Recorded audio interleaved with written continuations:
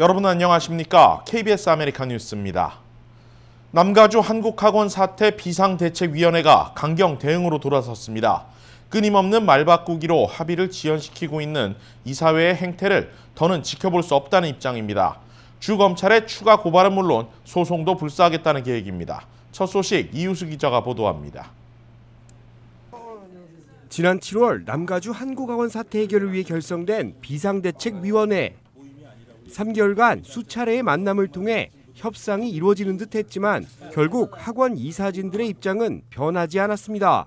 평화롭게 해서 정말 우리 그 커뮤니티에 기감이 되는 어, 그러한 마무리를 저희들이 어, 짓고 싶어서 지금까지 어, 되도록이면 그분들의 의견을 많이 수용해서 이제 끝까지 가려고 했었습니다. 그러나 지금까지 지금 돌아가는 사정에 봤을 때 협력이 되지 않고 잔류 이사진들이 사퇴를 전제로 또 몇몇 이사 추천을 하시겠다고 해서 다 수용을 한 상태였고요.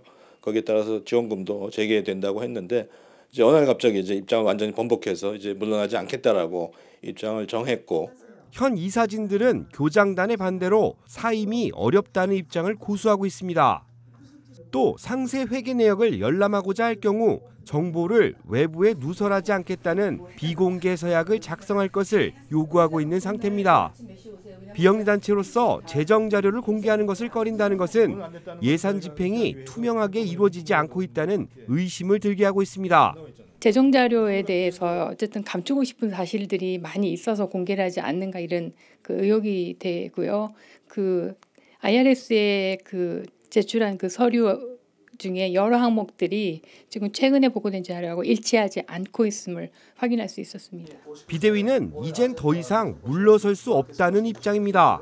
우선 주검찰과 국세청에 상세 회계 내역 열람과 검토를 할 수 있도록 협조를 요구할 계획입니다. 끝까지 파헤쳐서 이제는 어, 제대로 지금까지 있었던 걸 다 확인해서 진행을 하는 방향으로 좀 논의하려고 합니다. 한국 정부의 입장도 강경합니다. 동포재단 사태가 잘 마무리된 만큼 앞으로는 남가주 한국학원 사태 해결에 모든 전력을 집중한다는 계획입니다. 이번에 해소하지 않으면 앞으로 한인 동포 사회는 큰 어려움을 겪게 될 것이기 때문에 정부로서도 그리고 한인 사회로서도 일제 단결해서 꼭 이 문제를 해결할 수 있도록 최대, 최선의 노력을 다하겠습니다. 한편 비대위는 다음 주 수요일 정기 모임을 소집해 보다 구체적인 대응 방안을 마련할 계획입니다. 불법적인 행위에 대해서는 강력한 법적 대응을 검토한다는 방침입니다. KBS 뉴스 이우수입니다.